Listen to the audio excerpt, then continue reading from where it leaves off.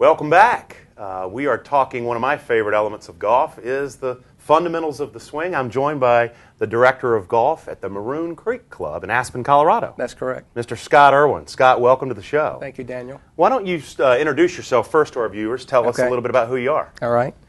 Uh, my career started in the early 70s playing the South African and Asian and Canadian, a little bit in Europe, PGA Tour events. And uh, was not a success playing the tour in those days, but I did uh, meet a lot of great players and learn a lot about the game of golf and particularly the golf swing. And have been a student of the game for 40 years now, taught golf a great deal, and uh, realized that there are elements of the golf swing that are still the same as they were 70 years ago when Byron Nelson, Ben Hogan, Peter Thomson, some of the great players played golf. So, in one element in particular, I read your article called The Lowercase Y. Yes. Why don't you? I think that's kind of where we're going with this. Okay. Why don't you tell our viewers about the lowercase y and what, what that is? You know, if you analyze great golf swings through the years, and you look at uh, Ben Hogan, who had a flat swing, and Byron Nelson, who had an upright swing, and then you see Jim Furyk with an upright swing, and Matt Kuchar with a flat swing, and you go, well, what am I supposed to do? The truth is, there's a number of backswings that'll work, and uh, on the downswing, you may have a key thought, like some of the golfers do these days, where they may start the downswing with their feet rolling or their knees driving or their hips turning. That's just a preference. There's no law for that. But the one thing that all golfers, all great players have in common when they hit a good golf shot is their golf club and their arms form a lowercase y. So this would be a capital Y, and this would be a lowercase y. So if I froze my body in motion during the golf swing, that's what your arms and golf club would look like for every great player for the last 70 years. That no exceptions. that's at the point of impact. That's correct. Now, so what you're saying basically is when you take a, a Jim Furyk who has a Right. very awkward or unconventional takeaway, Right. or even a Graham McDowell. I heard David Feherty say Graham McDowell gets it so laid off that he could swing underneath the coffee table. Right. You know, those awkward looking Or, or. Bubba Watson, it goes over the top. Bubba Watson, straight up and over the top. Right.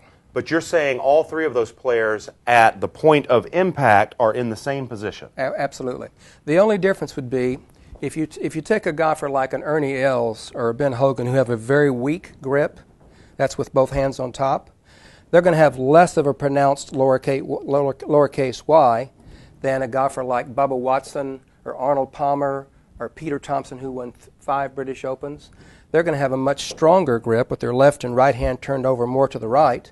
So when they get to impact, their lowercase y has got to be even more pronounced in order for the club face to be square. I see. So the stronger the grip, the more your hands have to be in front to hit the ball on the downswing. And the hands, you said, to hit a good, good golf shot with a square club face, hands always have to be leading. That's the correct. swing. You can't If- hit the ball first otherwise. Now- and it'd, it'd even be true with a driver off a tee.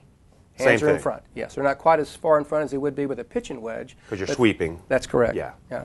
Now, uh, we, we, we're talking about the best players in the world here. Right. And, uh, uh, you know, that, that's great because all these guys are striking the ball pretty solidly. So you would assume they've got sort of a mastery on this. Yeah. What, what, what we're not talking about is that 12, 15, 20 handicapper. How, how would you teach the, the lowercase y to that golfer? And uh, I'll give you a great example. I had a problem for a while Here we go. um, with holding on to the club through impact and kind of getting a chicken wing with my left arm. So clearly that doesn't look like a lowercase y Right. at impact. Uh, I see a lot of amateur or higher handicappers who will either do that holding on and not releasing or flipping their hands at impact. How would you address those issues? The average, go ahead and take your stance. The average golfer will come into the golf ball and many times will flip and break his wrist trying to hit the golf ball. That's not what a good player is doing. Go back to the, to the backswing again and come down. When a good player gets to impact, he doesn't flip his wrist. He lets his forearms roll over, rotate, as his hips turn through the shot, and that's why they finish in this position. So they're not slapping at it with their wrist or their hands at impact. They're swinging through. As a matter of fact, if you stop had a stop action shot of any good player at impact, his wrists are never broken. They're in that position. That would be true with a driver. If you even carried the swing on through to here, their wrists still haven't broken. The ball's 100 yards down the fairway. They're in the process of rotating over, but the wrists don't break until at the end of the follow through.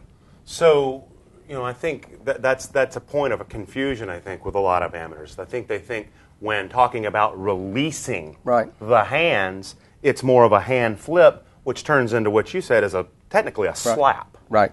which Correct. which causes a lot of erratic golf shots and a significant loss in power, I would imagine. Yes. So so the real release is actually happening with the forearms Correct. through impact and then into the follow through. When you watch a, a really good player swing the club, they look more graceful and they certainly are more powerful.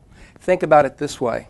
If you took an Ernie Els or someone who's very graceful with their swing, when they get to impact, if the wrists don't break, the lever goes from the shoulder to the club head. So that's the extension they have with combined with their weight shift and the speed of their swing. Right. If the average golfer comes to impact and he slaps at it with his wrist, all he's got is a lever the length of the club. He's reduced the lever by 50%. Loss of power, loss, of power, accuracy. Well, loss of direction and power. You know, it's it, it's all about angle of attack. Is the club face square coming through the hitting area? Are you hitting the ball on the way down? When you watch a good player hit a shot, if it's an iron shot, it'll hit, bounce a couple of times, and spin back on the green. It's because their hands are in front of the ball and the club caught the ball on the way down. hitting the ball first, creating Right. the downward the the downward down. force and the spin. And having the hands in front ensure that.